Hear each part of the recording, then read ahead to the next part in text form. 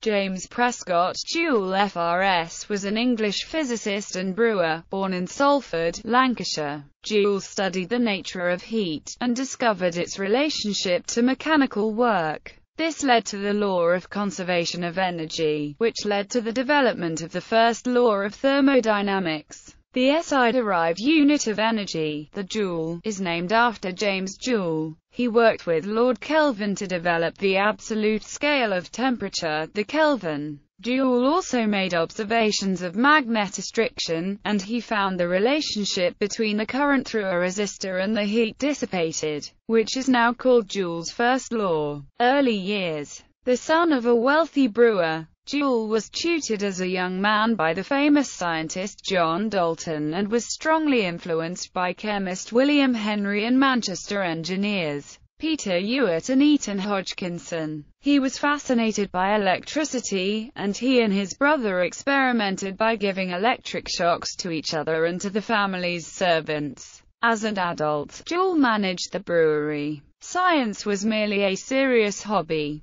Sometime around 1840, he started to investigate the feasibility of replacing the brewery's steam engines with the newly invented electric motor. His first scientific papers on the subject were contributed to William Sturgeon's Annals of Electricity, motivated in part by a businessman's desire to quantify the economics of the choice, and in part by his scientific inquisitiveness. He set out to determine which prime mover was more efficient. He discovered Joule's first law in 1841, that the heat which is evolved by the proper action of any voltaic current is proportional to the square of the intensity of that current, multiplied by the resistance to conduction which it experiences. Joule captured the output of the alternative methods in terms of a common standard, the ability to raise one pound, a height of one foot, the foot-pound. However, Joule's interest diverted from the narrow financial question to that of how much work could be extracted from a given source, leading him to speculate about the convertibility of energy. In 1843 he published results of experiments showing that the heating effect he had quantified in 1841 was due to generation of heat in the conductor, and not its transfer from another part of the equipment. This was a direct challenge to the caloric theory which held that heat could neither be created or destroyed. Caloric theory had dominated thinking in the science of heat since introduced by Antoine Lavoisier in 1783. Lavoisier's prestige and the practical success of Sadi Carnot's caloric theory of the heat engine since 1824 ensured that the young Joule, working outside either academia or the engineering profession, had a difficult road ahead. Supporters of the caloric theory readily pointed to the symmetry of the Peltier-Seebeck effect to claim that heat and current were convertible in an, at least approximately, reversible process. The mechanical equivalent of heat. Further experiments and measurements with his electric motor led Joule to estimate the mechanical equivalent of heat as 838 feet lbf of work to raise the temperature of a pound of water by 1 degree Fahrenheit. He announced his results at a meeting of the chemical section of the British Association for the Advancement of Science in Cork in August 1843 and was met by silence. Joule was undaunted and started to seek a purely mechanical demonstration of the conversion of work into heat. By forcing water through a perforated cylinder, he could measure the slight viscous heating of the fluid. He obtained a mechanical equivalent of 770 feet lbf BTU. The fact that the values obtained both by electrical and purely mechanical means were in agreement to at least one order of magnitude was, to Joule, compelling evidence of the reality of the convertibility of work into heat. Wherever mechanical force is expended, an exact equivalent of heat is always obtained. J.P. Joule, August 1843 Joule now tried a third route.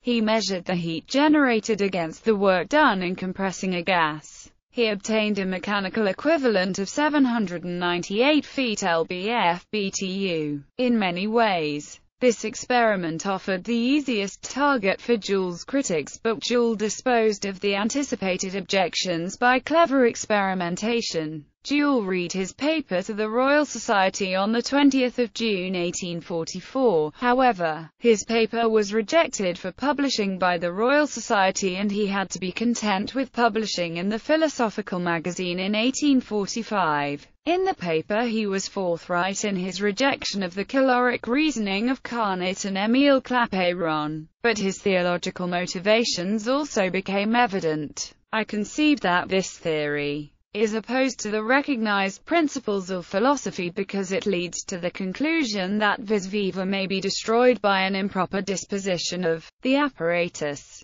Thus Mr. Clapeyron draws the inference that, the temperature of the fire being 1000 degrees Celsius to 2000 degrees Celsius higher than that of the boiler there is an enormous loss of vis viva in the passage of the heat from the furnace to the boiler, believing that the power to destroy belongs to the Creator alone I affirm that any theory which, when carried out, demands the annihilation of force, is necessarily erroneous. Joule here adopts the language of vis viva, possibly because Hodgkinson had read a review of Ewart's on the measure of moving force to the Literary and Philosophical Society in April 1844. Joule wrote in his 1844 paper, The mechanical power exerted in turning a magneto-electric machine is converted into the heat evolved by the passage of the currents of induction through its coils, and, on the other hand, that the motive power of the electromagnetic engine is obtained at the expense of the heat due to the chemical reactions of the battery by which it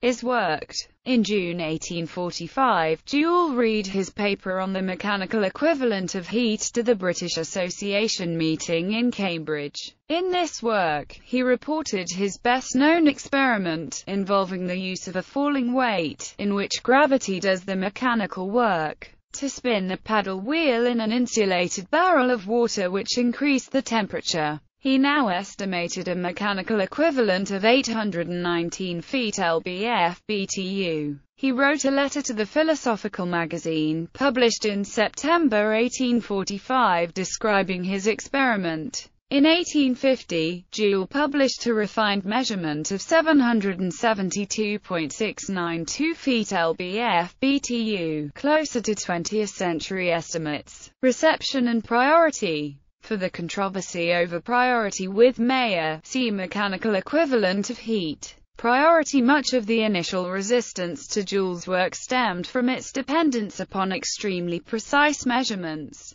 He claimed to be able to measure temperatures to within 1 200th of a degree Fahrenheit. Such precision was certainly uncommon in contemporary experimental physics but his doubters may have neglected his experience in the art of brewing, and his access to its practical technologies. He was also ably supported by scientific instrument maker John Benjamin Dancer. Joule's experiments complemented the theoretical work of Rudolf Clausius, who was considered by some to be the co-inventor of the energy concept. Joule was proposing a kinetic theory of heat, and this required a conceptual leap. If heat was a form of molecular motion, why didn't the motion of the molecules gradually die out? Joule's ideas required one to believe that the collisions of molecules were perfectly elastic. We should also remember that the very existence of atoms and molecules was not widely accepted for another 50 years. Although it may be hard today to understand the allure of the caloric theory, at the time it seemed to have some clear advantages. Carnot's successful theory of heat engines had also been based on the caloric assumption, and only later was it proved by Lord Kelvin that Carnot's mathematics were equally valid without assuming a caloric fluid. However, in Germany, Hermann Helmholtz became aware both of Joule's work and the similar 1842 work of Julius Robert von Mayer, though both men had been neglected since their respective publications. Helmholtz's definitive 1847 declaration of the conservation of energy credited him both. Also in 1847, another of Joule's presentations at the British Association in Oxford was attended by George Gabriel Stokes, Michael Faraday, and the precocious and maverick William Thomson, later to become Lord Kelvin, who had just been appointed Professor of Natural Philosophy at the University of Glasgow. Stokes was inclined to be a Joulite, and Faraday was much struck with it, though he harboured doubts. Thomson was intrigued but skeptical. Unanticipated, Thomson and Joule met later that year in Chamonix. Joule married Amelia Grimes on 18 August and the couple went on honeymoon. Marital enthusiasm notwithstanding, Joule and Thomson arranged to attempt an experiment a few days later to measure the temperature difference between the top and bottom of the cascade, the Sallanches waterfall, though this subsequently proved impractical. Though Thomson felt that Joule's results demanded theoretical explanation, he retreated into a spirited defense of the Carnot-Clapeyron school. In his 1848 account of absolute temperature, Thomson wrote that the conversion of heat into mechanical effect is probably impossible certainly undiscovered, but a footnote signaled his first doubts about the caloric theory, referring to Joule's very remarkable discoveries. Surprisingly, Thomson did not send Joule a copy of his paper, but when Joule eventually read it he wrote to Thomson on 6 October, claiming that his studies had demonstrated conversion of heat into work but that he was planning further experiments. Thomson replied on the 27th, revealing that he was planning his own experiments and hoping for a reconciliation of their two views, though Thomson conducted no new experiments. Over the next two years he became increasingly dissatisfied with Carnot's theory and convinced of Joule's. In his 1851 paper, Thomson was willing to go no further than a compromise and declared, the whole theory of the motive power of heat is founded on two propositions, due respectively to Joule, and to Carnot and Clausius. As soon as Joule read the paper he wrote to Thomson with his comments and questions. Thus began a fruitful, though largely epistolary, collaboration between the two men, Joule conducting experiments, Thomson analyzing the results and suggesting further experiments. The collaboration lasted from 1852 to 1856, its discoveries including the Joule-Thomson effect, and the published results did much to bring about general acceptance of Joule's work and the kinetic theory.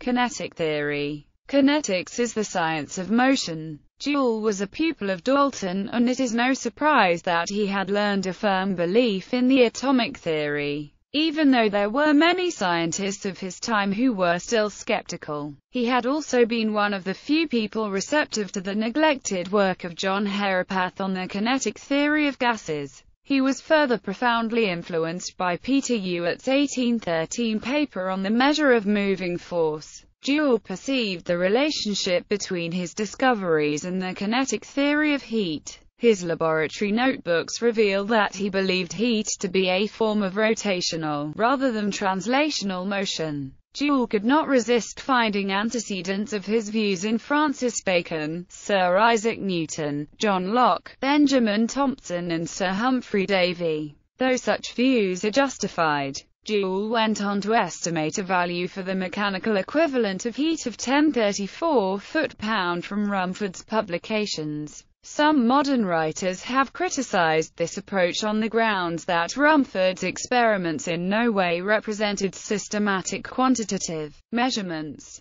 In one of his personal notes, Joule contends that Mayer's measurement was no more accurate than Rumford's perhaps in the hope that Mayer had not anticipated his own work. Joule has been attributed with explaining the green flash phenomenon in a letter to the Manchester Literary and Philosophical Society in 1869. Actually, he just noted the last glimpse as bluish-green. Honours Joule died at home in Sale and is buried in Brooklands Cemetery there. The gravestone is inscribed with the number 772.55, his climacteric 1878 measurement of the mechanical equivalent of heat in which he found that this amount of foot-pounds of work must be expended at sea level to raise the temperature of one pound of water from 60 to 61 F. There is also a quotation from the Gospel of John, I must work the works of him that sent me, while it is day. The night cometh, when no man can work.